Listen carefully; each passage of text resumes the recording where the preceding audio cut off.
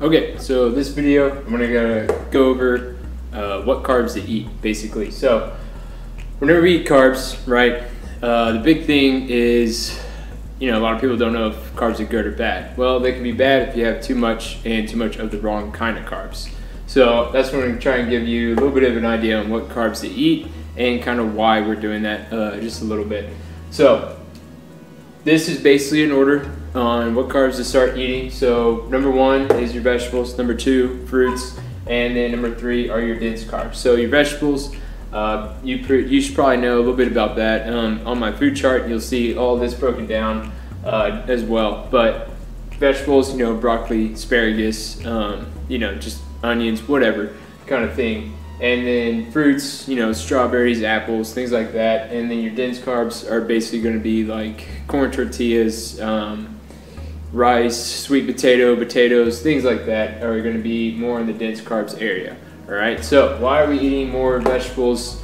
Uh, why do we want to eat that majority of the time? Well, that's because uh, basically it's either th- I have to look at it again, but um, wish I remembered it. It's like a thermal effect, or I don't know, whatever it is, thermic something, whatever. Um, I'll be sure to try and put that in there. But there's basically an effect that it has. So whenever you eat things that are more solid and dense, uh, kind of, and harder to break down, basically harder for your body to break down, basically. Um, it's actually going to benefit you more to do to eat those things because if you eat something like broccoli, right, that's hard, dense, solid.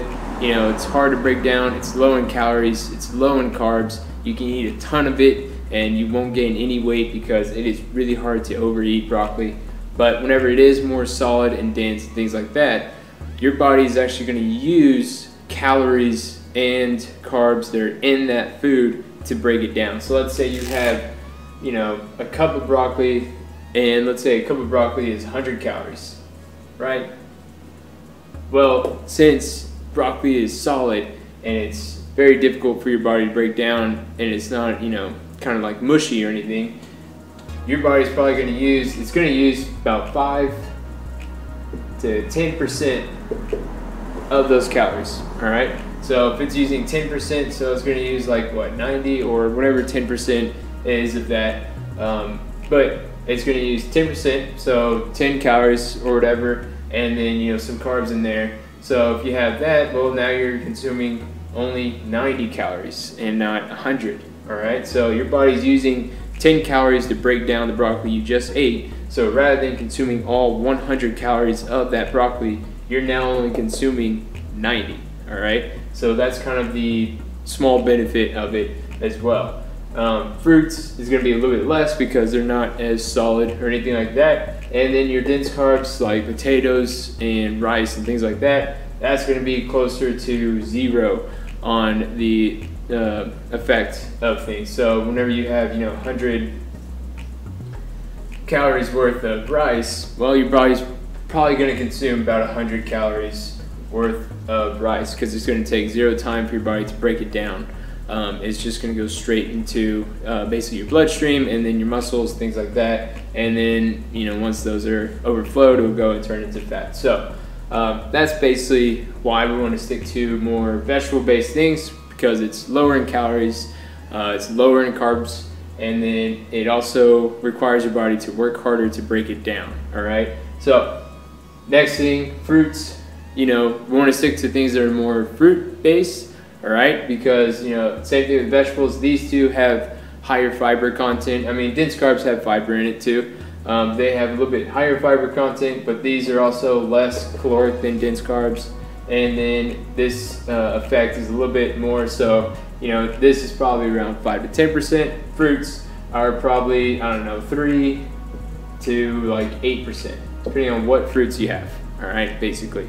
Um, and then this is also more natural sugars, all right? So uh, whenever you eat something like an apple or a banana or something like that, it does contain sugar. It's just very easy carbs for your body to consume and take up, but it's more natural sugar, so you're not getting a ton of um, kind of that bad bad sugar that we don't want from processed foods. All right. So that would be the reason why we want to stick to fruits next. And then your dense carbs, these are time, best time to eat more of your dense carbs is gonna be uh, kind of around your workout because whenever you work out and you power and you move and all that kind of stuff, uh, you do high intensity types of exercise or whatever it is, you know, you start squatting, all that kind of stuff, well, your body's going to use carbs first as the first form of energy.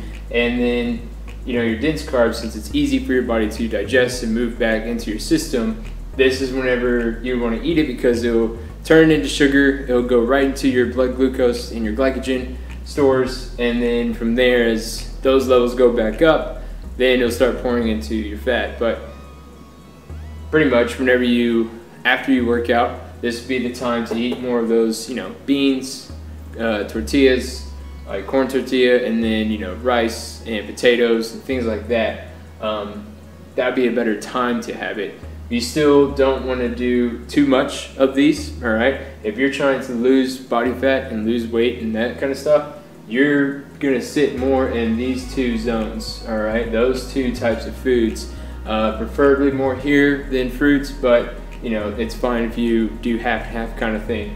Um, I would say if you're trying to lose weight, you should have this maybe once a day. So if you plan on having you know rice, chicken, and broccoli or something like that, or whatever it is, um, stick to having that rice only one time a day.